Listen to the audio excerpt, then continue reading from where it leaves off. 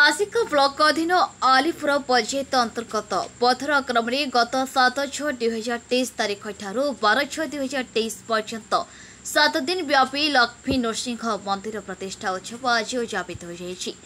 ନବନିର୍ମିତ ମନ୍ଦିର ପ୍ରତିଷ୍ଠା ସାଙ୍ଗକୁ ନାମଯଜ୍ଞ ଘୃତଯଜ୍ଞ ଜ୍ଞାନଯଜ୍ଞ ଗୋଯଜ୍ଞ ଅହ୍ନଯଜ୍ଞ ଆଦି ଅନୁଷ୍ଠିତ ହୋଇଥିଲା। ପ୍ରଥମ ଦିବସରେ ପବିତ୍ର ଋଷିକୋଲିଆ ସଙ୍ଗମ ଯଜ୍ଞ ସ୍ଥାନ ପର୍ଯ୍ୟନ୍ତ କଳସ ଯାତ୍ରା ହୋଇଥିଲା। ଅଙ୍କୁରାରୋପଣ ମଣ୍ଡଳୀକରଣ ବ୍ରାହ୍ମଣ ବରଣ ସାଲାଭୋଜି ଅଗ୍ନି ସଂସ୍କାର ନାମରେ ଅଧିବାସ ଅଠଚାଳିଶ ପ୍ରହର ନାମଯଜ୍ଞ ପ୍ରତ୍ୟେକ ଦିନ ନାମଯଜ୍ଞଠାରେ ହଜାର ହଜାର ଭକ୍ତ ପ୍ରସାଦ ସେବନ କରୁଥିଲେ। ସେଭଳି ଶହ ଶହ ଶ୍ରଦ୍ଧାଳୁ ପ୍ରତିଦିନ ଜ୍ଞାନ ଯଜ୍ଞ ଶ୍ରବଣ କରିଥିଲେ।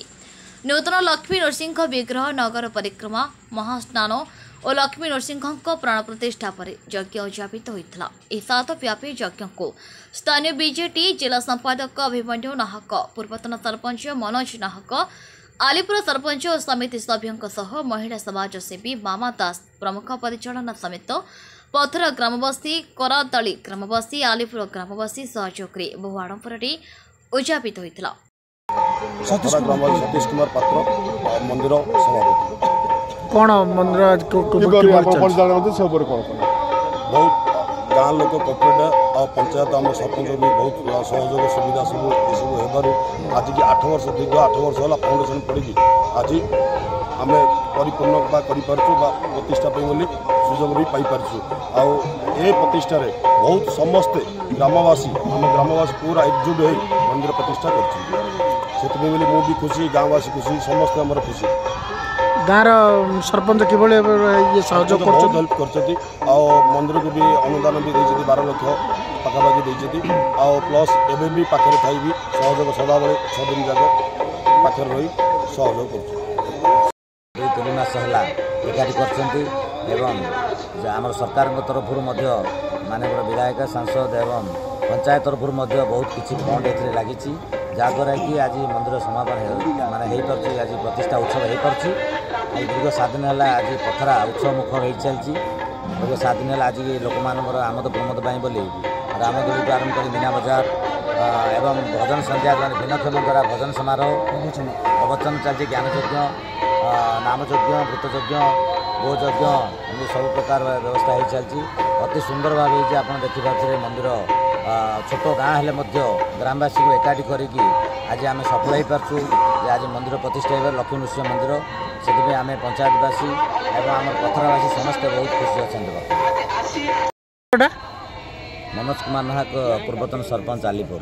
ଆଲିପୁରରେ କ'ଣ ଉମ୍, ଚାଲିଛି? ସେ ଉପରେ କ'ଣ କଜା- କହିବେ ଟିକେ? ଆମର ଆଲିପୁର ପଞ୍ଚାୟତ ଅନ୍ତର୍ଗତ ପଥରା ଗ୍ରାମରେ ଦୀର୍ଘ ସାତ ତାରିଖରୁ ଆ, ବାର ତାରିଖ ବ୍ୟାପୀ ଲକ୍ଷ୍ମୀ ନୃସିଂହ ମନ୍ଦିରଙ୍କର ପ୍ରତିଷ୍ଠା ଉତ୍ସବ ଚାଲିଛି। ନୂତନ ମନ୍ଦିର ପ୍ରତିଷ୍ଠା ଉତ୍ସବ। ଆ, ଦୀର୍ଘ ତେଇଶ ବର୍ଷର ମନ୍ଦିର। ଆ, ପ୍ରଥମେ କେବଳ ଲକ୍ଷ୍ମୀ ଠାକୁରଙ୍କର ପ୍ରତିମୂର୍ତ୍ତି ପୂଜା ଆରମ୍ଭ କରିଥିଲେ। ଦୀର୍ଘ ଦିନ ହେଲା ଯେହେତୁ ଗାଁର ଲୋକମାନଙ୍କର ସମସ୍ତଙ୍କର ଇଚ୍ଛା ଶକ୍ତି ଥିବା ସତ୍ତ୍ୱେ ଆର୍ଥିକ ସମସ୍ୟା ଥିଲା ସବୁ ପ୍ରକାର ଅସୁବିଧା ସମୟରେ। ଆମକୁ ଆଣି ଆସି ଗାଁରେ ଗ୍ରାମବାସୀମାନେ ଆମକୁ ଅନୁରୋଧ କରିଥିଲେ ଯେ ମନ୍ଦିର ପ୍ରତିଷ୍ଠା କରିବା ପାଇଁ କିଛି ଆପଣଙ୍କର ନିହାତି ସହଯୋଗ ଆବଶ୍ୟକତା ଅଛି। ତାପରେ ଆମେ ଆଗକୁ ଆସି ଗ୍ରାମବାସୀ ସମସ୍ତଙ୍କୁ ଏକାଠି କରାଇ ଏକଜୁଟ କରିବା ସହିତ ଗ୍ରାମବାସୀ ବହୁତ ପରିଶ୍ରମ କରିଛନ୍ତି। ସେମାନେ ଗାଁ ଗାଁ ବୁଲିକି ମନ୍ଦିର ପାଇଁ ନିର୍ମାଣାର୍ଥେ ଗୋଟେ ଥର ଗାଁ ଗାଁ ନାହକ ଗଞ୍ଜାମ ଜିଲ୍ଲା ସମ୍ପାଦକ ବିଜୁ ଜନତା ଦଳର ମୁଁ ଜଣେ ସକ୍ରିୟ ମେମ୍ବର ଅଛି। ସାର୍ କ'ଣ କହିବେ ଆଜି ଗ୍ରାମରେ ଯେଉଁ ଉତ୍ସବ ଉତ୍ସବ ହେଉଛି ଆପଣଙ୍କୁ କେମିତି ଲାଗୁଛି କ'ଣ? ପ୍ରଥମେ ଲକ୍ଷ୍ମୀ ନୃସିଂହ ନମ। ମୁଁ ପ୍ରଥମେ ତାଙ୍କ ପାଖରେ କୋଟି ପ୍ରଣାମ। ଏହି ଗ୍ରାମର ଜନସାଧାରଣଙ୍କୁ ମୁଁ ସମସ୍ତଙ୍କୁ ହାର୍ଦ୍ଦିକ ଶୁଭେଚ୍ଛା ଜଣାଉଛି। ଏ ଯେଉଁ ସତୀଶ କୁମାର ପାତ୍ର ଏ ଯେଉଁ କମିଟିର ସଭାପତି ରହି ତା'ର ଯେଉଁ ଉଦ୍ୟମ ଜାରି ରହିଛି ସେ ବହୁତ ପରିଶ୍ରମ କରିଛନ୍ତି। ଗ୍ରାମ ଲୋକଙ୍କୁ ଧରି ଗ୍ରାମର ସମସ୍ତ ଜନସାଧାରଣ ସମସ୍ତ ସହମତି ନେଇ ଯେଉଁ କାମ କରୁଛନ୍ତି ଧନ୍ୟବାଦ ଜଣାଉଛି।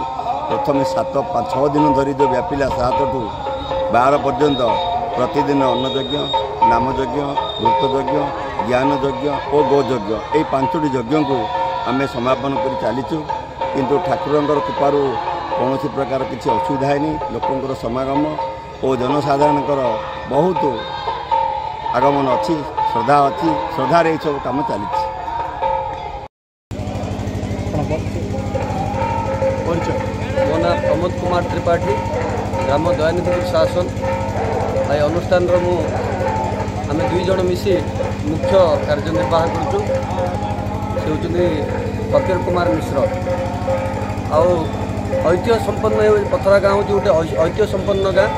ଯେଉଁ ଗାଁରେ କି ଦୀର୍ଘ ବହୁତ ଦିନ ଧରି ଏ ନୃସିଂହଙ୍କୁ ପୂଜା କରି ଆସୁଥିଲେ।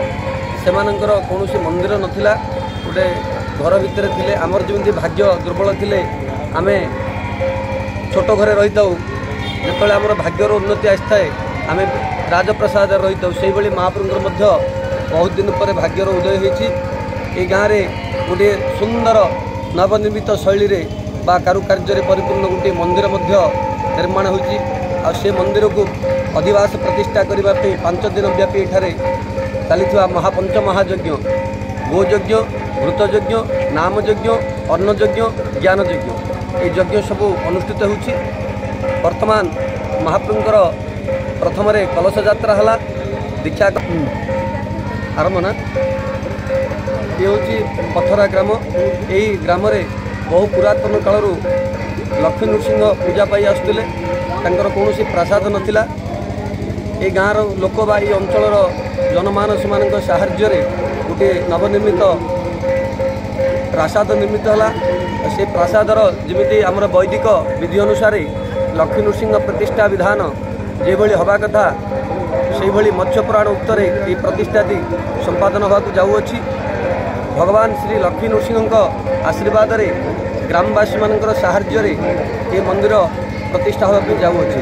ଅତଏବ ଆର କାର୍ଯ୍ୟକ୍ରମ କାର୍ଯ୍ୟସୂଚୀ ହେଉଛି ଯେ ପ୍ରଥମ ଦିନ ଦୀକ୍ଷା ଗ୍ରହଣ ଅଙ୍କୁ ଜଳଯାତ୍ରା ଅଙ୍କୁରାରୋପଣ ଅନୁଷ୍ଠିତ ହୋଇଥିଲା। ଦ୍ୱିତୀୟ ଦିନ ଶାଲା ପ୍ରବେଶ ସୂର୍ଯ୍ୟ ପୂଜା ଗୋଯଜ୍ଞ ଆଉ ସନ୍ଧ୍ୟାରେ ଅଗ୍ନି ସଂସ୍କାର କାର୍ଯ୍ୟକ୍ରମ ଅନୁଷ୍ଠିତ ହୋଇଥିଲା। ଏବଂ ଅଧିବାସ ମହାସ୍ନାନ ପ୍ରଭୁଙ୍କର ମହାସ୍ନାନ ହୋଇଥିଲା। ଆଉ ଆସନ୍ତାକାଲି ବାର ତାରିଖ ଦିନ ମହାପ୍ରଭୁଙ୍କର ଶାଲା ବିଜେ ହେବେ ବା ପ୍ରାସାଦ ବିଜେ ହେବେ। ଧନ୍ୟବାଦ। Bureau report Sangharsh TV.